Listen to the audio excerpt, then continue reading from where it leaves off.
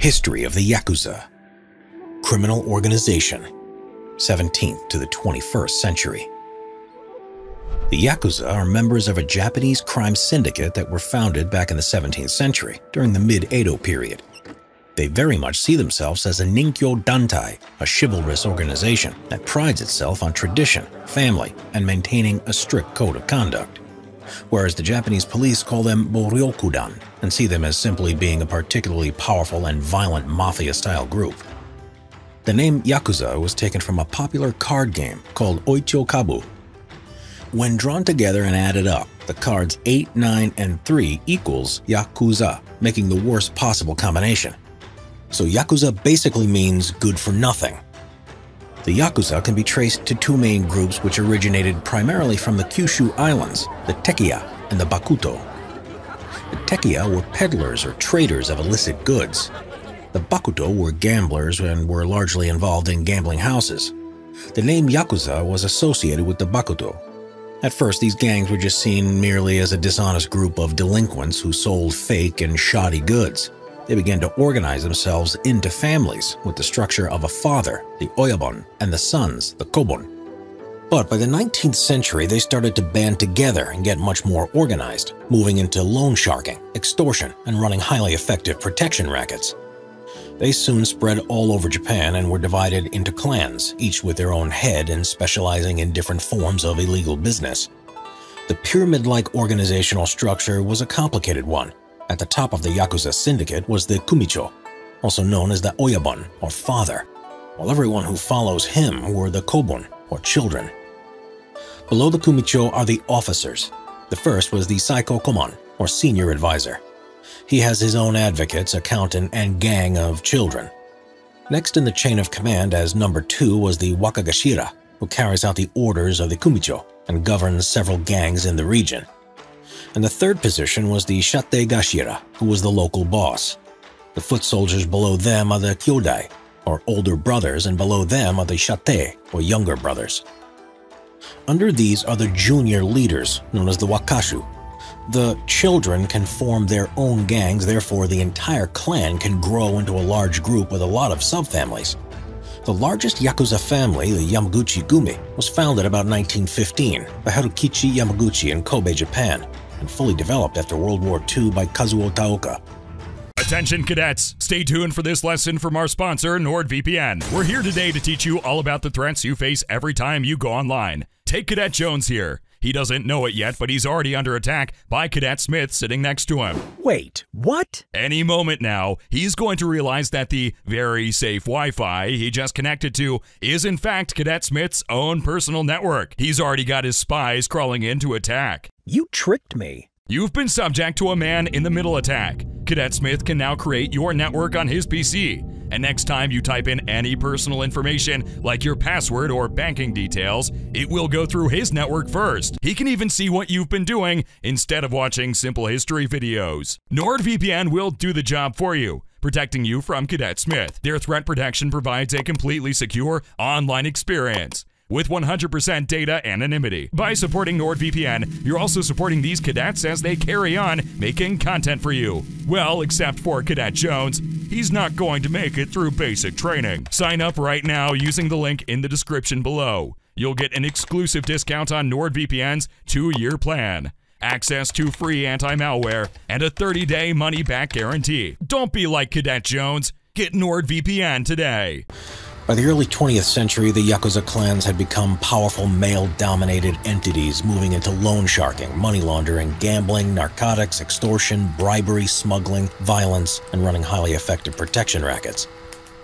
Alongside this, they ran legitimate businesses such as construction, movie studios, nightclubs, security, insurance, and real estate, taking on the form and practices of large corporations. Soon they were making billions and billions of yen a year from a mixture of legal and illegal activities. Yakuza members were usually working class, high school dropouts recruited from common street thugs. They were often descended from Burakumin, an ethnic Korean backgrounds who were outcasts in Japan's history. The Yakuza used a sakazuki to formalize the initiation process of new members into the family, where they must take a blood oath of allegiance The ritual, often performed at a Shinto shrine, involved the offering of a cup of sake to the initiate and the Yakuza leader known as the Oyabun and to the gods, a process known as Sakazuki Goto. Sitting face to face, the Oyabun's cup was filled to the brim, while the initiate gets much less to indicate their different status.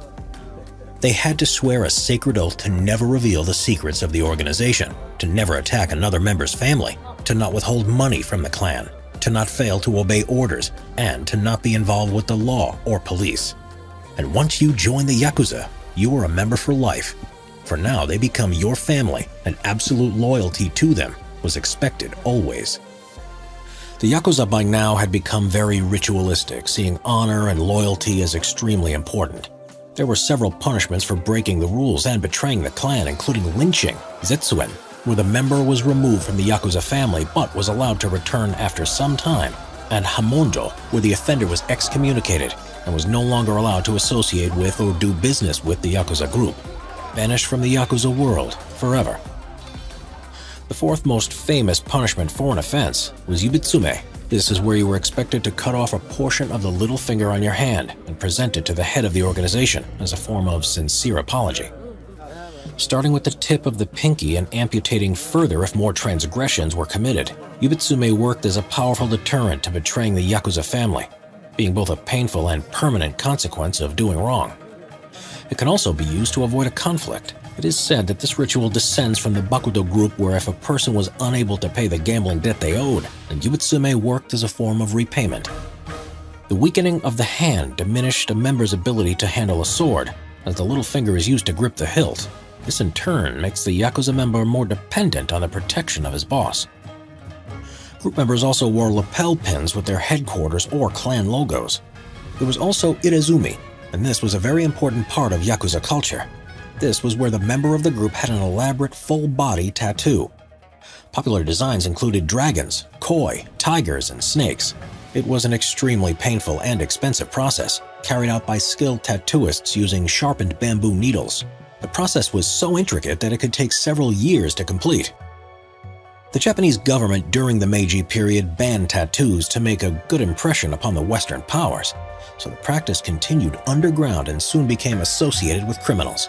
In fact, tattoos would become so strongly linked to the Yakuza that public hot springs and gyms banned customers that had them on their bodies, something that stands today. By the 1970s, Yakuza influence had stretched far and wide within the Japanese society, even extending to the highest levels of government, to such an extent that they were implicated in a bribery scandal involving the US Lockheed Company and the Japanese Prime Minister. It is said that Yoshio Kodama, a powerful Yakuza, acted as a consultant and facilitated a $3 million bribe to get the Japanese to buy Lockheed L-1011 TriStar passenger planes and a large number of F-104 Starfighters jet aircrafts. The 1980s saw the Japanese economy boom, driven by massive exports to America and Europe. The Yakuza quickly capitalized on the opportunities this newfound prosperity brought, but this in turn led to infighting amongst the various factions in the Yakuza. Such conflict, though rare, often proved to be incredibly violent, but normally short-lived.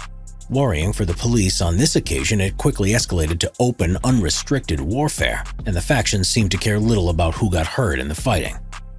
In the Japanese city of Fukuoka, it got completely out of control as gun battles between the various factions were becoming commonplace and civilians were becoming hurt or killed on a regular basis. The police took a tough stance against the Yakuza, and the subsequent crackdown did not only bring about a public declared truce between the warring factions, but also marked the start of the decline in power and influence of the Yakuza, as the police finally took a proactive approach against them nationwide. In the 1990s, the Yakuza had moved with the times and become much more international, having formed alliances with various Korean and extremely violent Vietnamese gangs, as well as the Chinese triads, in the process cornering the Asian market in illegal handguns and human trafficking. During the early 2000s, violence flared up again within the Yakuza, this time between two of the most powerful clans, when one side publicly assassinated a senior member of an opposing clan by ambushing his limousine using gunmen riding motorcycles. But a swift and strong police crackdown meant the violence never escalated any further. At its peak, the Yakuza clan members could number as many as a quarter million, but over the last few decades their numbers have declined dramatically. Since 2011, there's been regulations that prohibit business with the Yakuza. Yakuza exclusion ordinances, which are aimed to eliminate the relationship of citizens with the Yakuza, have also been enacted. Changing attitudes, constant police crackdown, and the introduction of several anti-corruption laws in Japan has affected them badly. But this is not to say they are still not a force to be reckoned with. Having adapted with the times, they have spread overseas to other parts of Asia, as well as America, moving into new developing markets. And in recent years, they have started to realize the importance of PR, and in an attempt to improve their image, were heavily involved in providing disaster relief after the Kobe earthquake of 1995 and the Tohoku tsunami of 2011. This proved highly effective and has done much to increase their popularity in recent years.